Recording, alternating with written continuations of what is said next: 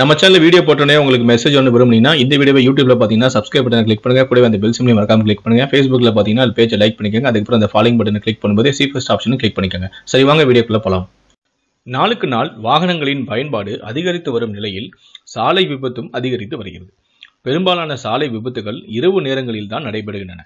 இரவு வாகனம் ஓட்டும் ஓட்டுநர்கள் தூக்க கலக்கத்தில் இருப்பதால் கவனக்குறைவு ஏற்பட்டு விபத்தும் ஏற்படுகிறது.